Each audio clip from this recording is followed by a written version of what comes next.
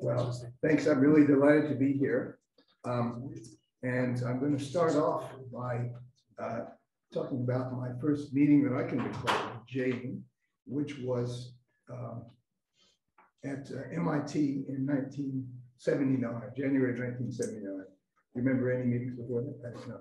But in the famous um, M20 building, which was built after World War II uh, as a kind of demountable that would soon be replaced, but it was still there in 1979.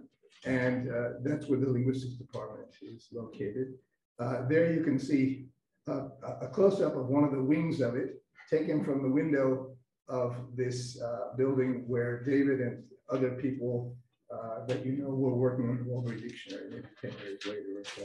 It has now been torn down, replaced, I, I believe. But we had a really exciting workshop there, which was in some ways very similar to this one. It went on for two days. It was focused entirely on Australian languages, whereas this one, I think, has a few other languages treated. And it was, I believe, organized by David Nash and Ken Hale. Uh, you can see on the left is the uh, the clean version uh, of the day you know, offered the day before the conference, and here is the the ones with last minute changes written in by hand. But a remarkable thing about that is that um, of the 14 participants, uh, listed participants there, near, nearly half of them are involved in this event also. Six of them, which maybe means linguistics is good for longevity or that we were all very uh, young at the time. There was, a, there was a sense of excitement due to the fact that there's been this huge increase in the amount of work done on Australian languages in the previous decade or so. And a lot of it, the results of a lot of it were still unpublished, but we, um, you know, we, we had a, a, sense of great excitement about the data, even approaching it from very different theoretical points of view. We have that, that kind of commonality that comes from looking at the same thing uh, in different ways. And um, so I'm going to talk today about uh, a category that didn't come up there. It hadn't been invented yet, at least under this name, that is distributed exponence. Um, it, it's quite quite a recent invention, but it's uh, it's a, I think it's a variation or a specific type of something that's more commonly, uh, that's, been treated in morphology for a longer period of um, multiple exponence. And uh, multiple exponence is defined by, how about, does she pronounce it in the Spanish way, Caballero, or I don't know if she, she I think she's American actually. Caballero and Harris wrote the kind of foundational piece on uh, multiple exponence that uh, that distinguish uh, distributed exponence as a kind of throwaway category that they weren't dealing with. But here's an example of multiple exponence from, from Batsbi, uh, which has got three, three feminine uh, uh, suffixes in this sentence. Evidently, she's ripping the dress, and dress is feminine. Uh, they're just repeated suffixes with apparently the same grammatical value. Uh, here's an example from Worrorra in the Kimberley region from Mark Clendon's Grammar of Worrorra. Uh, Worrorra is big on uh, noun class suffixes, there are four of them, and they usually come after the, the, the noun, but in this case, you can put them both ways. Uh, this could be seen as a derivational uh, marker here because this same root widow is also used for men. And so when you put the masculine form on it, it means a, a widower.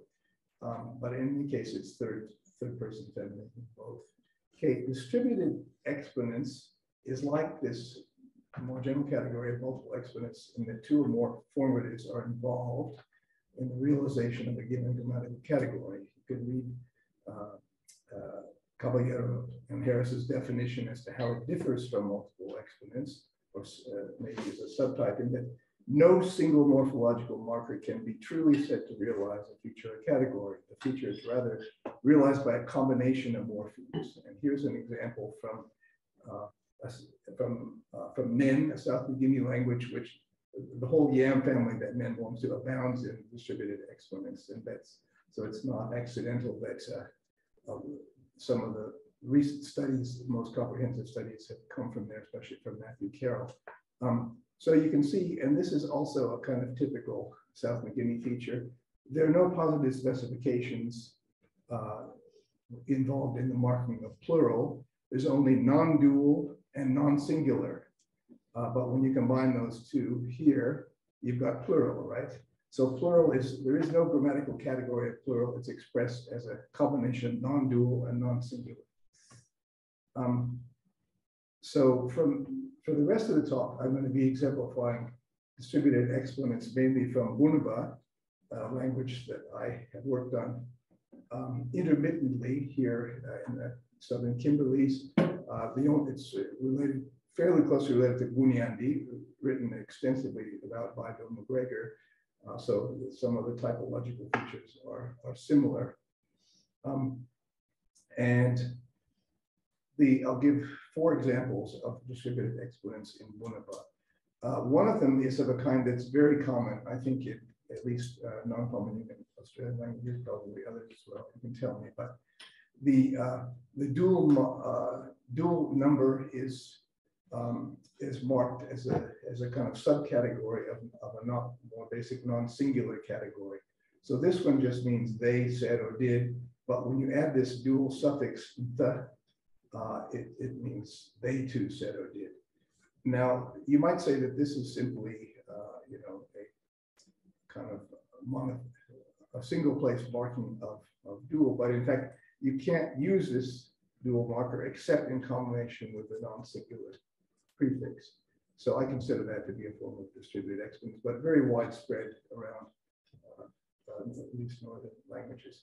The second example is in tense mood marking in the verb. Now, I'm not going to go into the segmentation of all these forms, but you can see uh, in a kind of overview from these paradigms that uh, tense mood is expressed by a combination of prefixes and suffixes.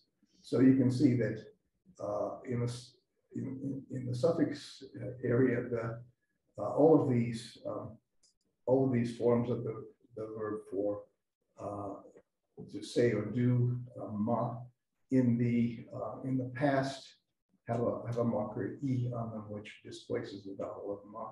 But that's not just a past tense marker; it's a past indicative marker.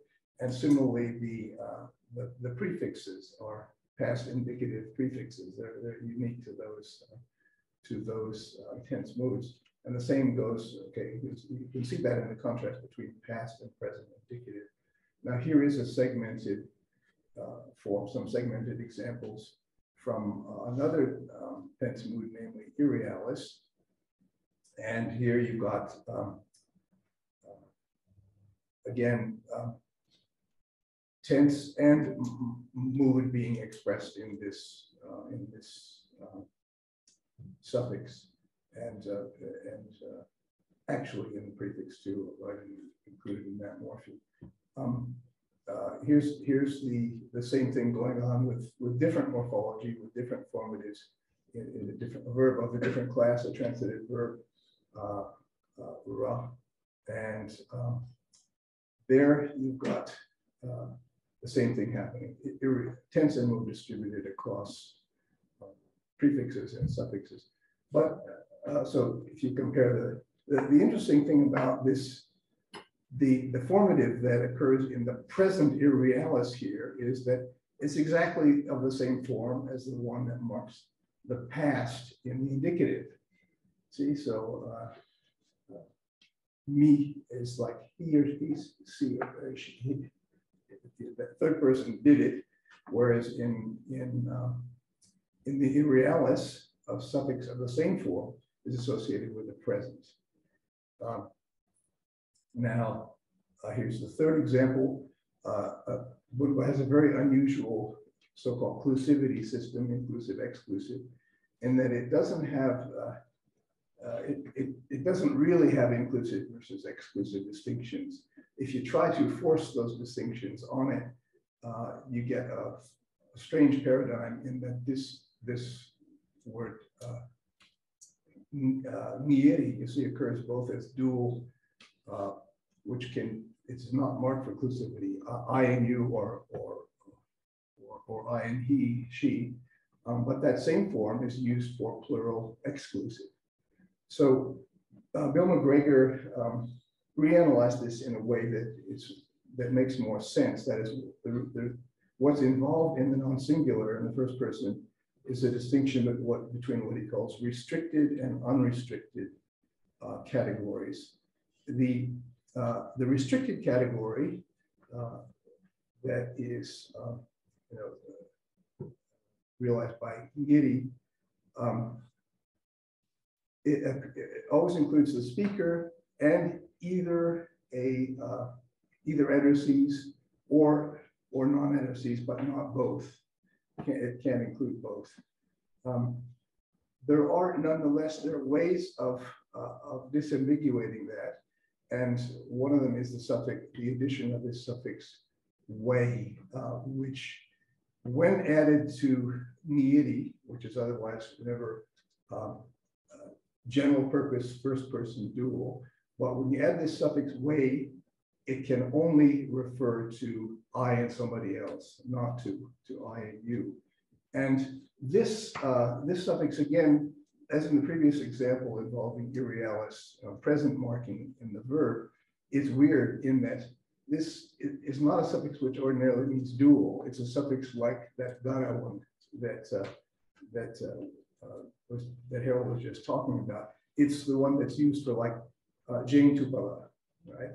Um, even though there is a perfectly good dual marker that could be used on there and is used on the oblique forms. This is the absolutive forms. Used on the oblique forms of the pronoun. So again, what you have is a, a kind of subcategorization affected by bringing in bringing in a morpheme that's used for other things in other in other environments. And here finally is an example of interaction between uh, um, one of the tense mode and person number categories.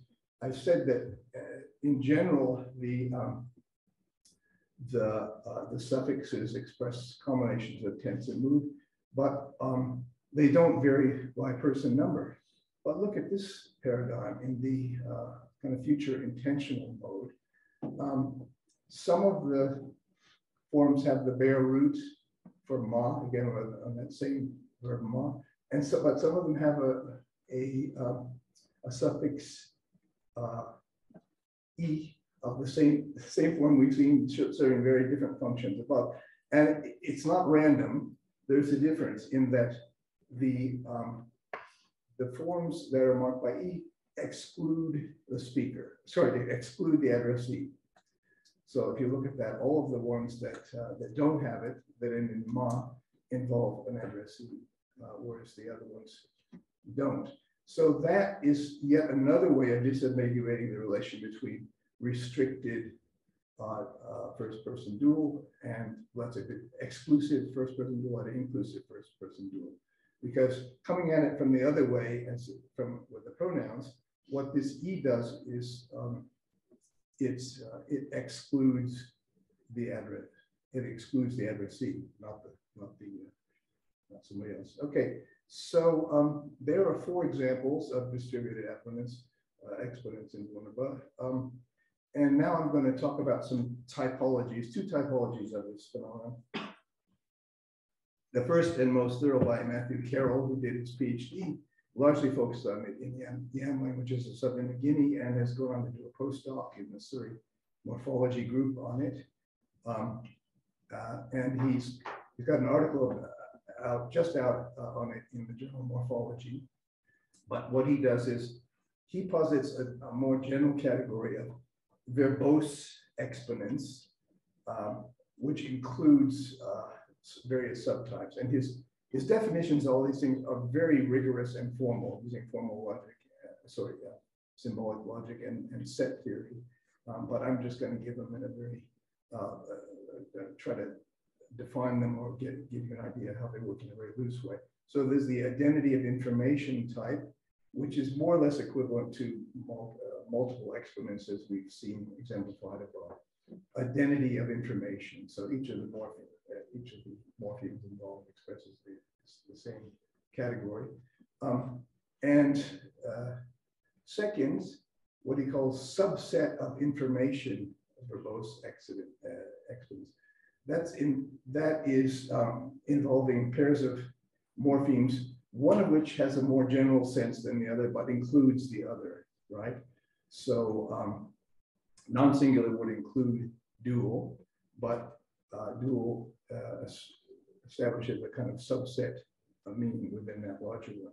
And he models it, okay, uh, in this way, or diagrams it in this way, based on an example from another New Guinea language, uh, Wipi, which doesn't, it, involves, also involves the dual and plural, as in one example, but in a very different way. Uh, in a way, the dual is the more, um, the more, let's say, you might say, uh, basic or unmarked category, and that it only, expression of dual only involves one morpheme, whereas the expression of the plural includes that same morpheme, uh, so including two people, uh, but it also includes uh, this, this other one. Um, so the, the main point is that this involves a, a kind of subset of information as between the two categories that are, that are involved. And then there's distributed exponence as defined by Carroll uh, uh, in a way that, uh, that uh, involves overlapping sets, but not, uh, not nesting or inclusion of one in another. Um, an example of that would be uh, the, in NEN, the, the marking of person on, well, you can see it, it's, NEN has lots of different number morphemes that vary by verb and verb class. But you can see in this one, um, the, uh, the way of, of marking. Um, okay, so here are the, the basic meanings of these categories. Uh, non-dual versus dual and uh, non-singular versus singular. So the way of marking plural there is um, non-dual and non-singular. There's a non-dual marker here and the non-singular marker here. You put them together and you've got a plural. Um, now, a, a, second typology, uh, riffing on the category of deponent verbs, uh, those which are always, it's always put active in form but passive in meaning. Um, Baerman et al. proposed a category of generalized deponency, and they've edited a whole volume on this topic, which they define as instances in which morphological forms give the wrong signal about their function. You can see there are examples of that from, from Bunaba that I've talked about above. And Evans proposes a new subtype of generalized deponency that he calls distributed deponency. Basically, that means uh, weird stuff going on with at least one of the morphemes and distributed across uh, one across two or more positions. Uh, you can you can read that uh, definition if you want to uh, ponder it online.